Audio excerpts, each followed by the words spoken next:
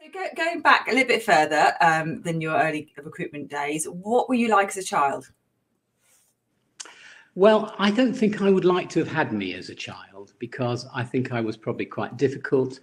Um, I was quite curious. I was quite non-conforming.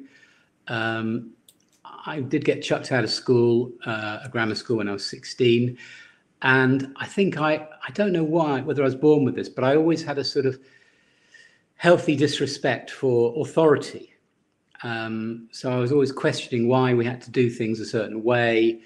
Um, there was still fagging at my school. You had to kind of clear up the dinner after people. It was kind of awful, really. And I think that's where I developed this kind of healthy disrespect for authority. I say it's a healthy disrespect for authority. Um, perhaps it's uh, it's not really.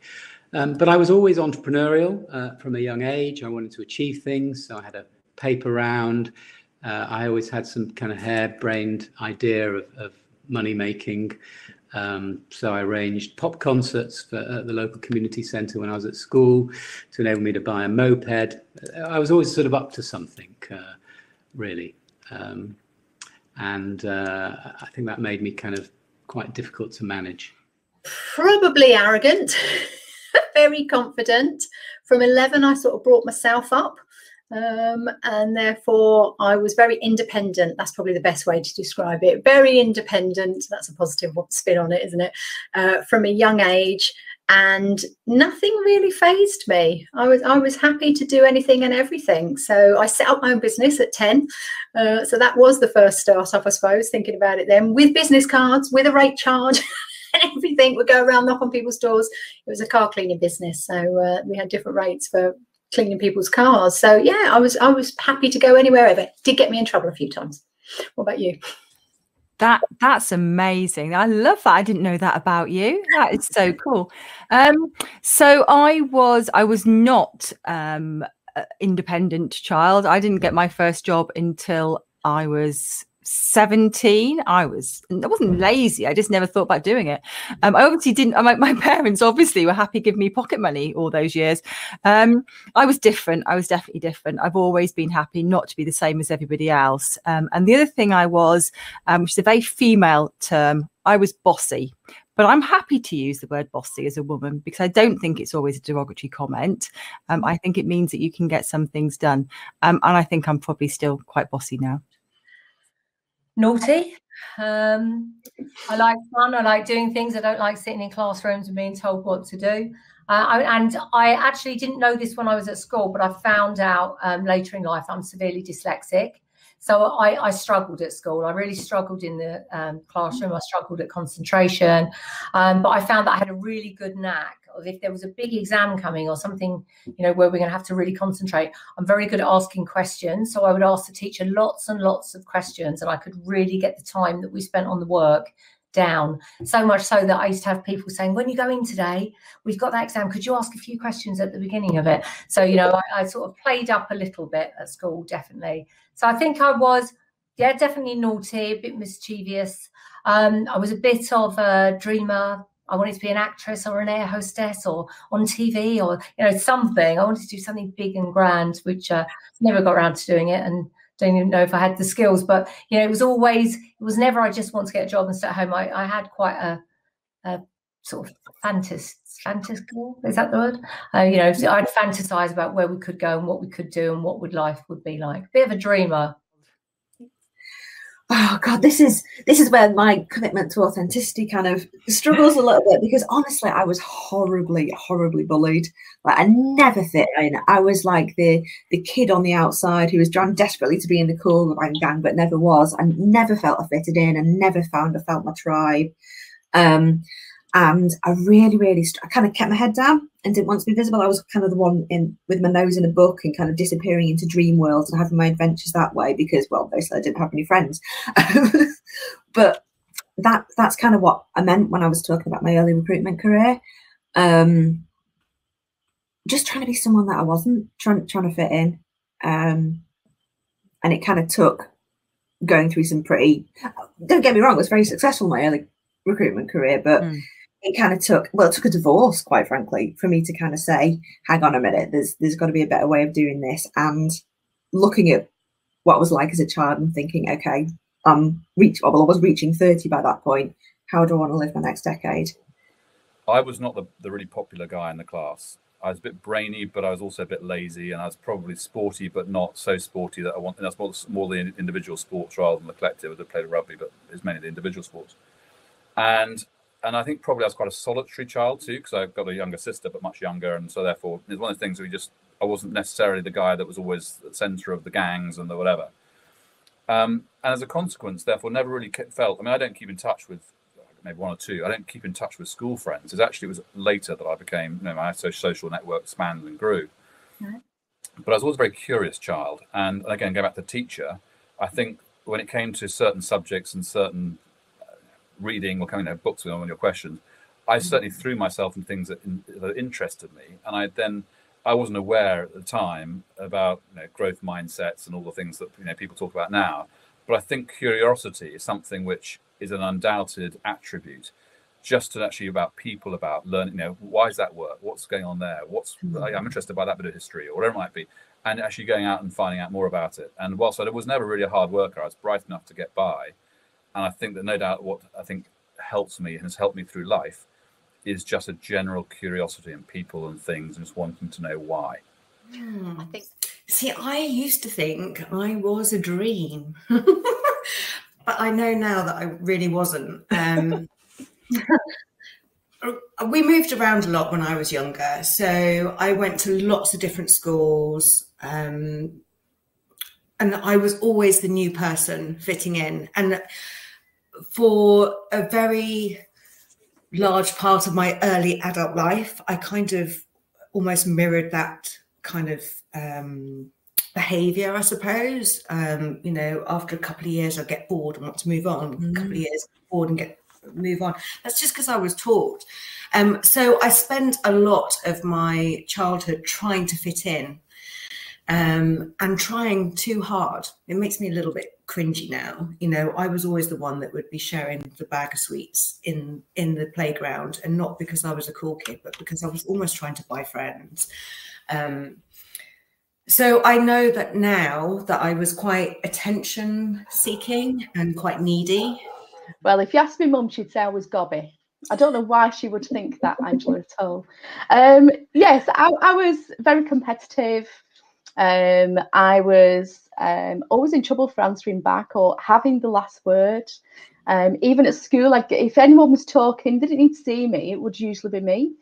Um, and yeah, I was in trouble for that, but nothing else. I was really studious and I would always do my best at school. Um, I got great grades and, and I went on to do my NNEB afterwards. Thought I wanted to be a nursery nurse.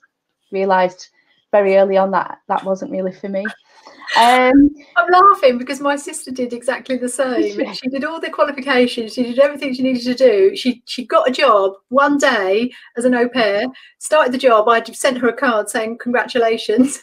End of the day, she handed a notice in, and that was it. So yeah. I just sent her, sorry. That was my dream job. An au pair in France. That's what I thought I was going to go and do. Um, yeah. So it's harder than so, yeah. you think, isn't it? I was good as, as a child, you know. I, I, found some old school reports and they're all positive all the way through, mm. apart from must wear the right school uniform. So as a teenager, I rebelled against the uniform and how charitable I was. And I, I set up um, mm. part of the, the thing that I set up at school was uh, collecting charity money, going around to the classrooms and asking people to donate on a Monday morning. Um, and that's, I suppose, where I first got my my think about giving back. Um, to, to giving to people who don't have the same opportunities as we have. So, so. yeah, no, I was very, very quiet, very shy. My mum even thought I had learning difficulties because I didn't really talk. It wasn't until I went to school that I really came out of my shell and everything like that. So I just sort of blossomed with age, uh, you know, with time and, and experience, etc. Was there something very quiet. at school that helped you to to come out of your shell? Well, I think that I was just an observer. Even when I first went to school, I think that even my teacher said, "Oh, she's very, very quiet." But I think I was just observing life and people, and and just seeing, all oh, right, okay, this is what it's all about. Yeah, I'll get involved now. Oh, that's interesting. Because I must admit, as recruiters, we are usually quite activists and just want to oh, be yeah. at the forefront of everything and getting involved. So that that taking a step back and, and thinking about it and observing before you dive in. Yeah, no, I was definitely definitely a quiet observer. Yeah, no, my, my daughter's the same. I, I can see that. Um, so I think there's there's definitely positives to that. and whereas the rest of us all dive in, Yeah. just make mistakes as we go along, you're less likely to make any mistakes. You've sort of sussed it all out before it happens. Yeah. happens. Okay. shy. I was, Okay. um, yeah, I was, I was a second child, so I always had an older sister to look out for me. Um, so I, although I probably never came across as lacking in confidence, that was always because I had a big sister that did everything first. But actually, take her away, I was, I was quite shy. So, um, but I was very, very hardworking, very studious, a bit of a swot. I think I think we're quite bright generally as recruiters, aren't we? So whether Mm. we're a spot or whether there's just natural ability there, um, but the shyness is is quite unusual. But we've had quite a few people say that, so it's like they came into their own later on. Um, and Yeah, I think recruitment wasn't a natural it it wasn't a natural career choice for me. Um, I never particularly wanted to be in sales. Um, that's hilarious. Never wanted to be in sales, and historically, you know, especially when I was younger, I, I didn't enjoy public speaking. But actually, recruitment has um, taught me that you know you you it, it can give you it gives you the confidence to be able to talk to anybody and you realize that everybody is just a person exactly the same as you um the same hopes and fears so you just get on with it uh, when you get to my age, it's hard to remember what you're like as a child. um, but yeah, I was the fifth one down. So I had uh, three sisters above me and a brother above me. Um, the first four all had a year between them, and then I was four years later. Wow. Uh, so there's a, a little gap. Um, Catholic family in Yorkshire, so it's cold and with Catholics. So um, that's the seven kids. um, and then I had two two sisters below me, two younger sisters. Again, four years in between each, so it was quite quite a spread. So my older sister's eight years older than me. My younger sister's eight years younger than me. So literally the 16 year span. Mm. Um, I was a mixture as a, as a child. I apparently I've been told by my my brothers and sisters that I didn't really speak much until I was about three or four. So I just used to point at things and they used to give them to me. Um, and I was um, I was the first one in the family that didn't go to university. The other the five above me all went. Uh, in fact, the two below me went as well. So I've always sort of been a bit of a black sheep in that way that I, I sort of I, I wanted to work. I think because my dad died at 12 and my mother brought us up, we were sort of taught to accept what we had.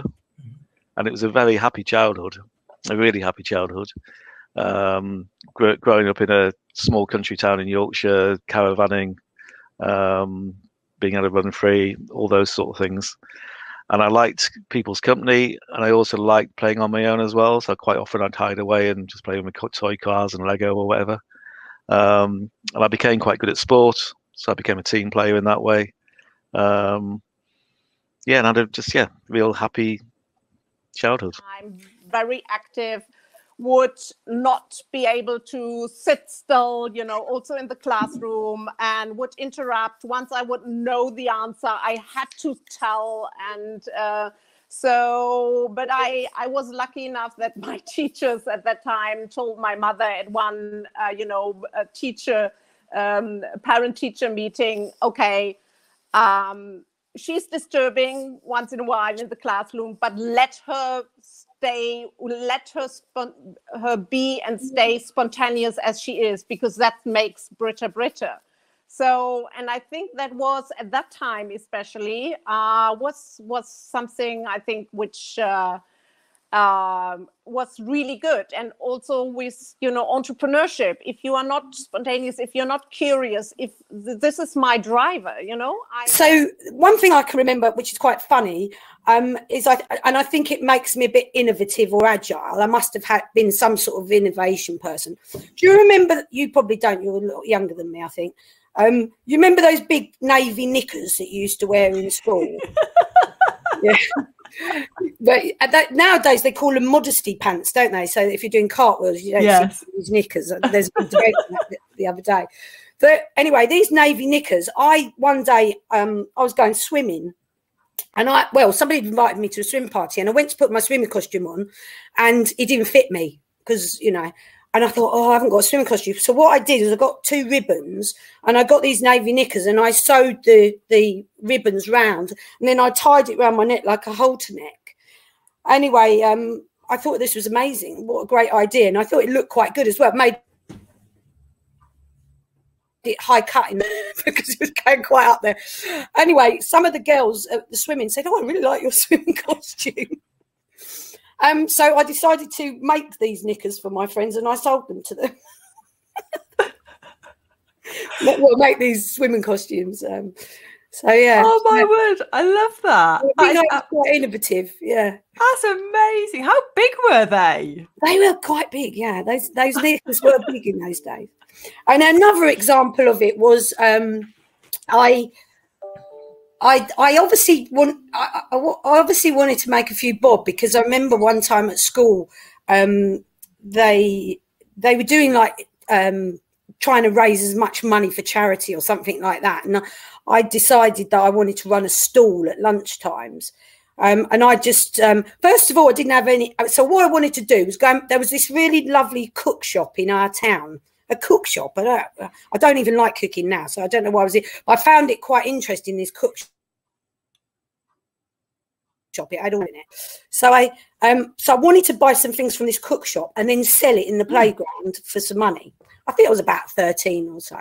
But I didn't have any money to buy the stuff in the cook shop. So I set up a stall with my friend, shaking a jar. This is for charity, this is for charity, give us some money. So we ended up collecting, we collected quite a bit of money. And that evening, on the way home from school, we went in the cook shop and bought some things, you know, bits, small things. And then the next day, we did shaking for the money and we sold the um the items that we bought in the shop. We made a bit more on that night. And really it was because i wanted to go in this shop and spend money in the shop. I liked the shop. And and eventually we kept buying and selling buying and selling and we made a bit of money. And obviously we go to the school for the charity. So i was the eldest of three still am the eldest of three. Um, a lot of my formative years were in yorkshire in wakefield and leeds my dad was governor of Armley Jail, and um, but I wasn't a conformist. Uh, I was always getting in trouble, maybe because of that. I'm not sure. Uh, and I moved down south to Weymouth when I was 14, and I had a very strong Yorkshire accent in those days. I mean, I may as well have come from Mars, very tough old boys old boys school that I went into. Took me a bit of time to settle and sort of you know find my find my routine and and get settled. And um, yeah, it's a quick summary of my childhood. I, I, don't really think I've changed that much. I think my strengths and, and strengths and weaknesses are probably still, um, you know, quite similar. Um, I think most people would would give me a tag of being the world's friend, and and sometimes in business that works really well when you're trying to build rapport and influence and um, you know get people around to your way of thinking. And then sometimes in life it means that that maybe um, people feel they can take advantage of you. But I, I've never changed my approach. I think that um, I'm, I'm quite stubborn. I'm quite competitive. But, but at the end of the day, I'm a, I'm a decent human being with, with values and integrity. And I think I've always had, had that. I would always be there for anyone. Um, and that hasn't changed at all. I'm still that person. So, so you've got, have you got friends still then from sort of school that you've kept that? Um, um that's interesting. I think as a child, I was probably I was in a group of three, and that was always quite hard. I was always the one that ended up being the odd one out, but I was quite studious and academic, and and kind of really got my head down. I suppose, yeah, I was I was probably a bit of a loner. I like my own company even now, so you know sometimes if i if i need to take some time out that that's what i need to do just to sort of recharge so yeah, I, I haven't really changed at all in that respect. Again, I had to think back long and hard here. When you get to your middle sixties, you uh, it's a awful long. Are you really middle sixties? I am. I am. I didn't know that. I thought you were late well, 50. What am I? Sixty-four next birthday. 60. Wow. Okay. Yeah. No, you. I, will give you that. Then you are older than I thought you were. um, as a child, I used to be very imaginative. Um, I used to make up stories, plays. I went to nine different primary schools. My dad was in the Navy, then they were in the pub trade, uh, uh, hotel and catering, pub trade. So we moved around all the time. Mm. Um, I would make up plays um, for the other kids to do. Although bizarrely, people find this hard to believe, I wasn't actually that keen on performing. Um, I did, but I, I, didn't actually enjoy that. I enjoyed the, the putting it together and structuring it and the words. Um, I, I look back at some pictures completely uh, coincidentally. I was looking at pictures going back donkey's years that some my mum had, and um, the I looked very geeky. I, I remember that big sticky out ears, um, toothy grin. I, I, broke a tooth when I was young, and it was like that until I was in my twenties. So I had a um, an odd sort of grin. Um, and I suppose the only other thing I love rugby. I loved school until the late last year of sixth form, and I absolutely loved rugby. And I played rugby as much as I could all the time when I wasn't working.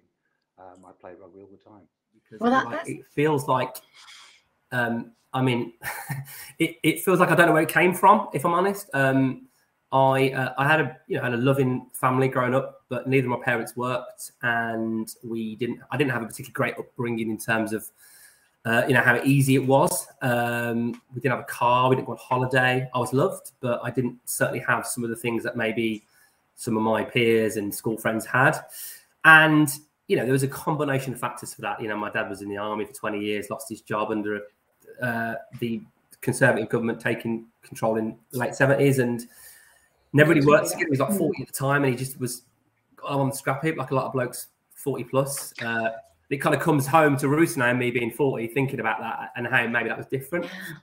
Um, so my upbringing wasn't really ever a, a scenario of you know, as I said, that I was loved and we did things, but it was never really a sense of sort of push yourself, push yourself, push yourself to do stuff. So I don't know. I kind of I, I, it's weird. This I remember. I remember a moment. It's like a seminal moment in my life. About I was about eight years old. Um, I wasn't planning on going into this, but here we are. Right. So, um, and I was I was at my aunt and uncle's house for Christmas, and we'd taken some presents over there, and I was opening presents. And uh, as I opened my presents, some of my presents were secondhand, and you could see that the boxes and some of the games were like a bit torn. And I, I always remember this moment now, 30, 32, 33 years ago, my aunt looking at my uncle and going, and I remember thinking to myself at that age, you know what? Like, she's probably thinking that's a bit, bit of a shame, and I can't fix it now, but one day I will fix it. And that kind of like stuck with me from um, that point. Yeah. So. Yeah. Yeah. Well, I mean, there is that potential stuff, then. Stuff. Yeah. yeah, the, the love was there. So therefore you felt safe, usually, isn't it? If, if, if you're loved, yeah. but not having things at the time probably didn't mean much to you but as life goes on and you realize i could get these things and actually if i work hard or push myself then why not um, that, that, that really that really fueled me that did because all the things that i didn't have i thought to myself particularly when i got into recruitment this is obviously great for people that hopefully are, watching this that are in recruitment or the early stages to realize that you know, whether you've been from a really you know affluent background or you know when i lived at a council flat for a bit or anywhere in between that um, mm. got the opportunity to, to change change it, which is just brilliant. And I realized very early on that actually that is the kind of life that I, I could lead and I could live in and I could step into that world because I was capable of doing it. Um, yeah. But sometimes not having those things, I think for me, gave me an extra level of aspiration and motivation and commitment to try and get it because I'd never seen it. You know, I mean, any the first time with the M1, I paid for myself. You know, the first house that I bought, I did it off my own back. You know, everything was was on me. And as much as there are a lot of people that this will be different for. It just meant a bit more to me in terms of getting getting there, basically.